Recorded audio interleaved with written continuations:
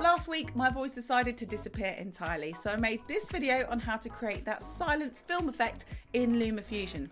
Now, many of you have asked on YouTube how I made it look old and grainy with this old school look on the footage. So in this week's video, I'm going to tell you just that, and I think it's going to be a lot easier than you anticipate.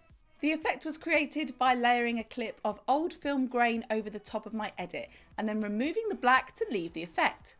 This was achieved by using the keyers in the Luma and Effects editor. Once you understand how these work, you can create tons of effects on your content. The colour key presets allow particular colours to be replaced with transparency to show the media on the layers below on the timeline. Colour keys remove colour and Luma keys allow the replacement of luminance values, so dark or light video. We usually see keying used for the well-known green screen effect like this, or we can also use it to mask an area of the video for isolating effects or colour correction by layering identical clips over one another on the timeline, adding the key to the top layer and delving into a range of effects.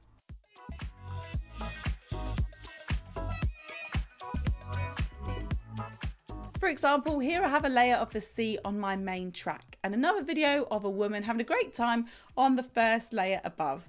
This portion of the video is dark, so it would be a perfect area to key out to see the video underneath. To do this, I double tap on the layered clip, head over to the color and effects editor and head to the key category to find the dark Luma key. By tapping on this, I will tell LumaFusion that I want to make the dark areas of the video transparent, enabling the video underneath to peek through. I'm going to play that now and see how it looks.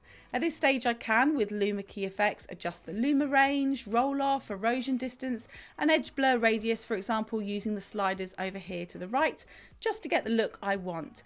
You can of course have some fun with these effects, like here for example I'm going to bring it in gradually by splitting the layered clip of this woman, removing the dark Luma key from the first clip and then adding a cross dissolve in between.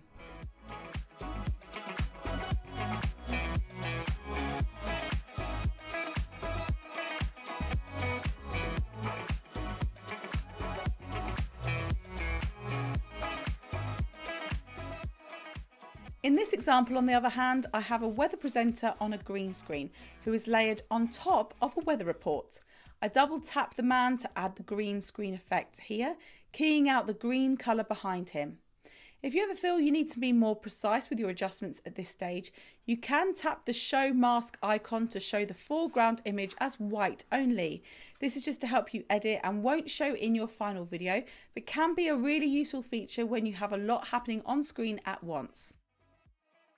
To really mix it up and have some fun with your Luma and colour keys, tap on the reverse key icon where you flip the effect on its head.